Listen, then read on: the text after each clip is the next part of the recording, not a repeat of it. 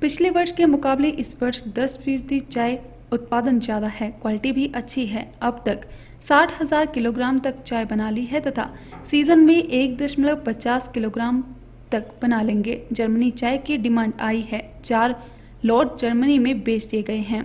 हालाँकि चाय अभी तक डिस्पैच नहीं हुई है, जो कि आने वाले महीने में डिस्पैच हो जाएगी। कोलकाता ऑक्शन और एक्सपोर्ट में कांगड़ा चाय को अच्छे दाम मिले हैं। पिछले साल की अपेक्षा इस वर्ष कोलकाता और विदेश में चाय बिक्री में नब्बे रुपए प्रति किलोग्राम ज़्यादा रेट मिल रहा है। हालाँकि कोविड 19 महामारी के चलते इस मरतबा कांगड़ा चाय उद्योग को नुकसान की आशंका जताई जा रही थी, लेकिन सुखद खबर ये है कि कोलकाता में तो कांगड़ा चाय बिक ही रही है, वहीं अब विदेश से भी कांगड़ा चाय के लिए ऑर्डर मिल गया है। इस बार मौसम अनुकूल होने से चाय उत्पादन अधिक होने के साथ क्वालिटी भी अच्छी बन पड़ी है।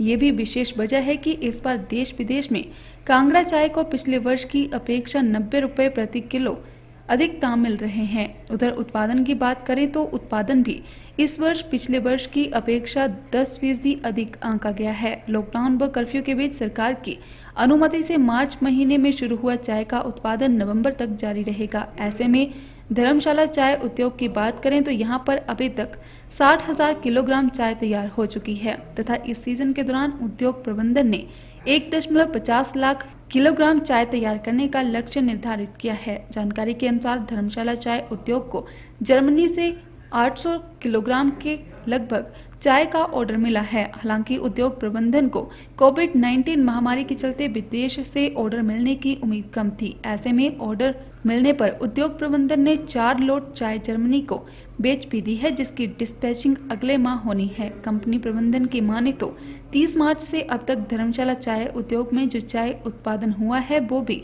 पिछले वर्ष की अपेक्षा 10 फ़ीसदी अधिक है। ऐसे में ये कहना गलत नहीं होगा कि चाय उद्योग के लिए इस वर्ष का मौसम अनुकूल रहा है। गौरतलब है कि जर्मनी से पहले भी धर्मशाला चाय उद्योग को चाय की डिमांड आती रही है, लेकिन यहाँ ये बताना भी ज़रूरी है कि जर्मनी में मार्च अप्रैल में तैयार चाय की डिमांड रहती है, जबकि बरसात के दौरान तैयार होने वाले चाय की डिमांड कम ही रहती है। सर, ऐसा है कि जैसे ही लॉकडाउन हुआ था तो हमें इमिडिएटली कोई पाँच छः दिन के बाद हमें प्रोडक्शन करने की परमिशन मिल गई थी। तो 30 मार्च से लेके अभी तक जितना भी हमारा प्रोडक्शन हुआ है, वो कंपैरेटिवली लास्ट ईयर से हम लोग अहेड चल रहे हैं। पिछले साल से तकरीबन कोई 10 परसेंट हमारी जो क्रॉप है लास्ट ईयर से ज़्यादा बनी है इस बार। क्योंकि वेदर इस बार कुछ फेवरेबल जा रहा है रेंज भी अच्छी हो रही हैं और क्वालिटी वाइज भी चाय हमारी बहुत अच्छी बन रही है। अभी तक हम लोग ने 60,000 थाउज़ेंड के बना ली है बना ली है तो उम्मीद है कि हम लोग 1.5 लैक्स के इस साल बना लेंगे।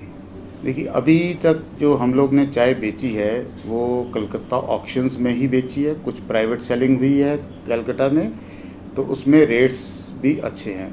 और एक अच्छी बात ये है कि अब हमें एक्सपोर्ट की इंक्वायरी भी जर्मनी और कुछ और यूरोपियन कंट्री से आने लगी है।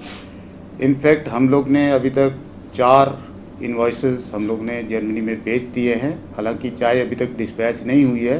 वो आने वाले महीने में वो भी डिस्पैच हो जाएगी। जैसे इस, मैंने आपको पहले भी बताया कि क्वालिटी काफ़ी अच्छी थी तो कलकत्ता में भी हमें लास्ट ईयर के कंपैरिजन में अच्छे दाम मिले हैं और एक्सपोर्ट में भी हमें अच्छा दाम मिले हैं। देखिए लास्ट ईयर तक जो हम लोग अगर फिगर्स में कंपैरिजन करें एक्सपोर्ट और कलकत्ता अगर दोनों को मिला के तो लास्ट ईयर से हम लोग तकरीबन कोई नब्बे रुपये पर के जी अहेड चल रहे हैं। इस सीज़न का एंड तो फ़र्स्ट वीक ऑफ़ नवंबर तक प्रोडक्शन चलती ही रहती है।